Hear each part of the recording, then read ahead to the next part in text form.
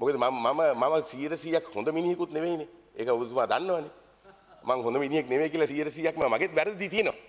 නමුත් මේ මේ මේ වගේ මේ මේ මුදල් මුදල් ගසා කන ඒ පැත්තෙන් නෙවෙයි. මගේ පොඩි පොඩි වැරදි තියෙනවා. ඒක ඉතින් අපේ පස්තුන් කූරලේ ලේවල හැටි. ඒක මට කරන්න දෙයක් නැහැ. හරි ඒක මම එලිපිට කියනවා තමුන්නාන්සලා හොරෙන් කරනවා. ඒකයි ඕකේ වැරද්ද. නේද? ඒක මම දැන් තමුන්නාන්සෙත් එහෙම හොඳ මිනිහෙක් නෙවෙයිනේ. තමුන්නාන්සෙත් හොඳ මිනිහෙක් නෙවෙයි. මට කිව්වා කටා උස ගන්න එපා. හරිය? තමුන්නාන්ස හොඳ මිනිහෙක් නෙවෙයි.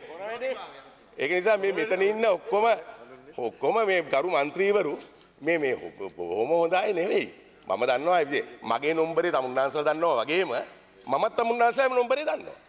ඉතින් ඒක නිසා මෙතනදී බොරුවට කෑ ගහලා අර මේ මේ උරුහුණු කුමාරි ගාලු කුමාරි ඒව වැඩක් නැහැ. ওই කුමාරලා ගන්න පුළුවන් අය ගත්ත දෙන්. ගන්න පුළුවන් අය. ගන්න බැරි අය තමයි මේ විදිහට මේ දෝෂාරෝපණය කරන්නේ. ඉතින් මම කතානායකතුමා මං ටිකක් අඩි 6කට වැඩි උස මිනිහෙක්. සාමාන්‍ය කාන්තා පක්ෂේ මට කැමතියි. ඉතින් මම මොනව කරන්නද ඒකට?